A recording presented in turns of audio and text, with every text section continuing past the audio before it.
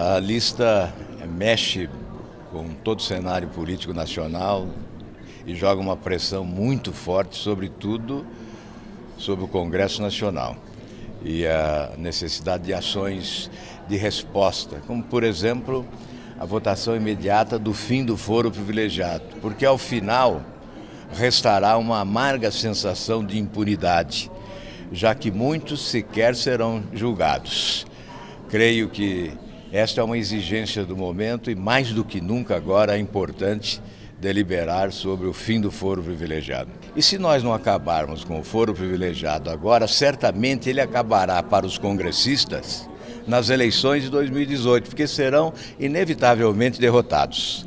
É uma questão, portanto, de antecipar um fato, acabar agora com o foro privilegiado.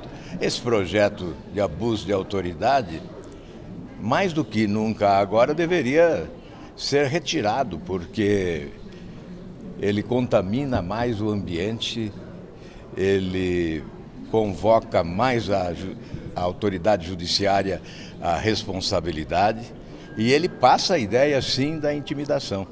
Portanto, mais do que nunca, essa tese de que não é hora para deliberar sobre abuso de autoridade é fundamental ser destacada. O Congresso está, nesse momento, perdido, né? nervoso, é, conturbado, há, há um momento de complexidade incomum aqui.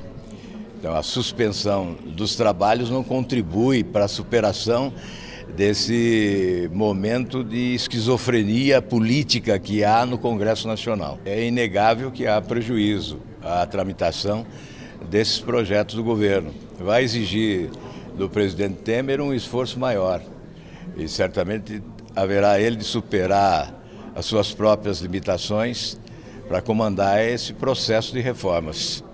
São reformas importantes, é, são reformas imprescindíveis, mas num momento que pode ser o risco às boas ideias. Nós corremos o risco de sepultarmos boas ideias em função do nervosismo exposto nesse momento.